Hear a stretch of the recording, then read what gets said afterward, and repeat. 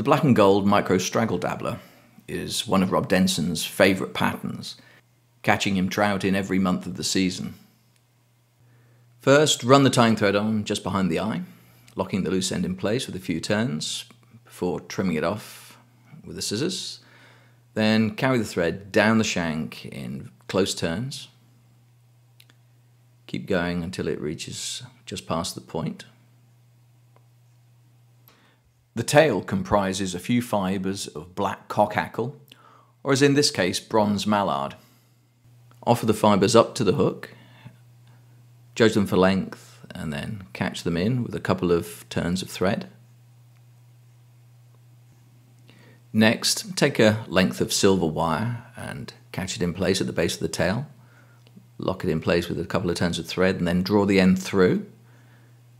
The body consists of a length of black and gold microstraggle, or if you can get it, black and gold UV microstraggle. Take the straggle fritz and catch it in at the base of the tail with two or three turns of thread. Then carry the thread down the shank over the waste ends of the bronze mallard and silver wire until it reaches a position just short of the eye. Next, take the scissors and just trim off the waste ends of the bronze mallard. Add a few more turns of thread.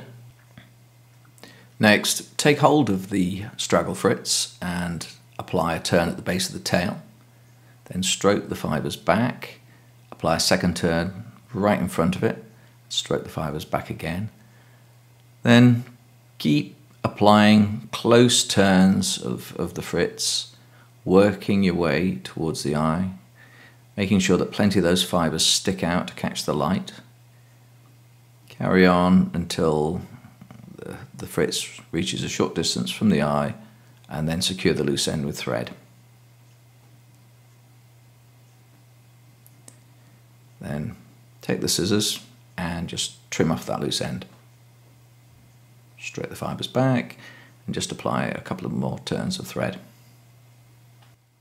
A black hen hackle is used for the body hackle, so prepare it by stripping away the waste fibres from the base of the hackle to leave a short section of stem.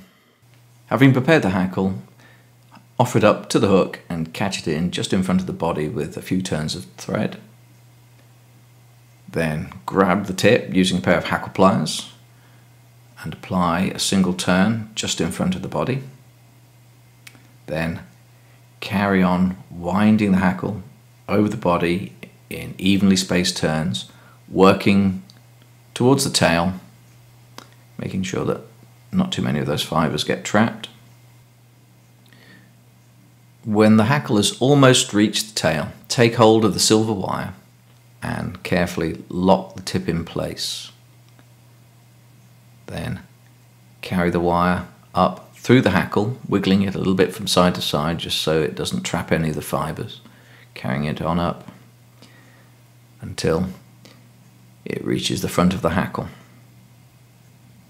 At that point, draw the fibers back, take the tying thread and just secure the loose end of the wire with a couple of turns. Then take hold of the wire and just snap off that loose end. Draw the fibres back and just apply a couple of more turns of thread. Then take the scissors, carefully remove the hackle tip, do the same to the waste end of stalk at the eye. Fibres of bronze mallard are used to cloak the body and hackle of this pattern, giving it its dabbler style profile. From the feather, cut a generous strip and then divide it into two equal slips offer the first bunch of the bronze mallard up to the underside of the hook and just uh, secure it with a couple of loose turns of thread. Just uh, work it underneath the bend so that it uh, forms the lower part of the wing. Then take the second slip,